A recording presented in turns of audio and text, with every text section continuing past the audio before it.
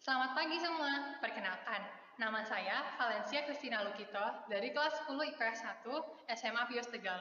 Pada kesempatan singkat ini, saya ingin membahas Rumah Sakit Kardina. Rumah sakit ini merupakan salah satu cagar budaya di kota Tegal yang masih dijaga dan dilestarikan. Dibangun pada tahun 1927 oleh Raden Ajeng Kardina, beliau sangat peduli terhadap kesehatan masyarakat. Saat ini, Rumah Sakit Kardina memiliki fasilitas yang cukup lengkap dan pelayanan yang baik. Untuk membuktikannya, kalian dapat datang langsung ke Rumah Sakit Kardina.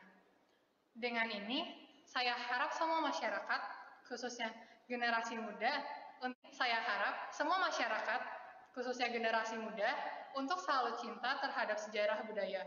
Terima kasih.